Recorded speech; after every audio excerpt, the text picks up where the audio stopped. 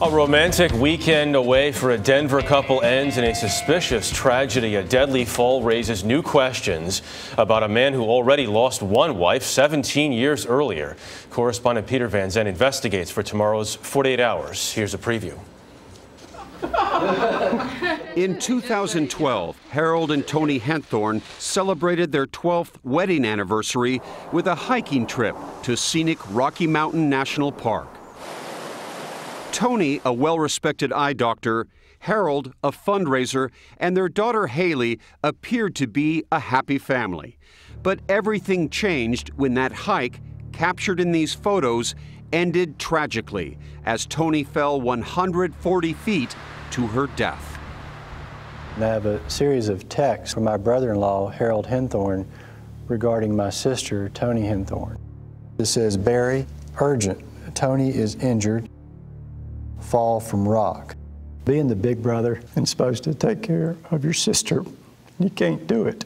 There's Toni and Harold. Henthorn told Toni's family, as well as investigators, his wife accidentally slipped. Toni Henthorn died in Rocky Mountain National Park in two. But Denver's CBS 4 investigative reporter Brian Maass got an anonymous tip that made Toni's death look much more suspicious and it just said Harold Henthorn, his first wife, died in a freak accident as well. Her name is Lynn Henthorn. And just like in Toni's case, Harold was the only witness.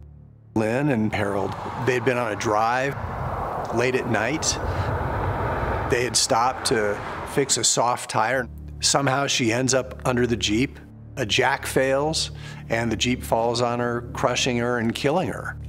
Grace Rochelle was Lynn's sister in law. And what did you know about the circumstances of Lynn's death? It was just a freak accident. The Douglas County Sheriff's Office also thought it was an accident. But when Grace heard about Toni's fatal fall, she couldn't help but think back to Lynn's death. Lynn and Toni, it was deja vu. I felt like I was reliving the same events. Remote area, efforts are limited, it's dark. It's the same scenario. Federal investigators also learned there were large life insurance policies on both women. How did your wife die? And in November of 2014, two years after Toni's death, Harold Henthorn was arrested and charged with her murder. This is either the unluckiest guy in the world, or perhaps it's something far more sinister. It could be murder.